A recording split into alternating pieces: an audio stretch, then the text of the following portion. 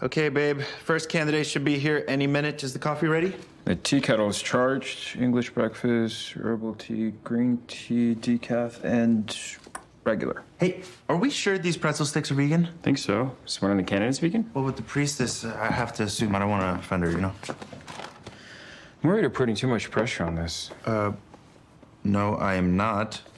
This officiant is going to unite us in front of God for the rest of our lives. I mean, it is a big deal. Okay, yeah, but the right person will find us. You just have to be yourself and not worry. And if she doesn't want a pretzel stick, she won't eat it.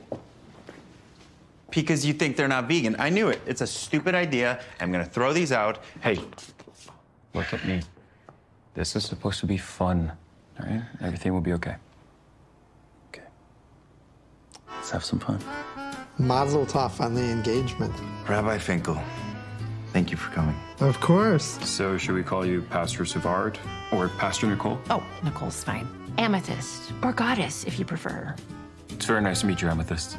Can we call you Tom? Uh, Reverend Tom, if you don't mind. Uh, I didn't go to divinity school for seven years to be just Tom. If I may say, you two both have radiant auras. Why, thank you. I've always been blessed with second sight. Are those pretzel sticks? Yeah.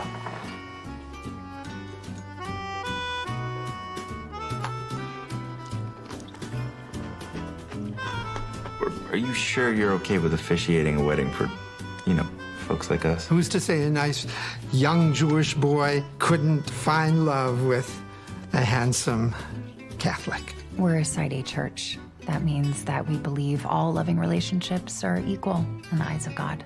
That's really beautiful.